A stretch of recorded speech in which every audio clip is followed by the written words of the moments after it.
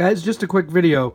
Got a lot in from eBay. Uh, I got these two kits. These are uh, the old Zipco uh, retainer kits. This one needs to be sorted through a little. Uh, they were in a lot that also included a fully stocked Chrysler pin kit and some uh, GM parts. I'll probably never use either of those. Uh, got these two master locks from a guy at work. These are nice, pretty much brand new warded padlocks.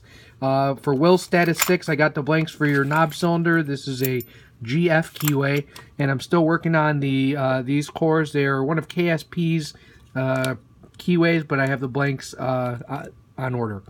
So thanks for watching. Check out keypicking.com.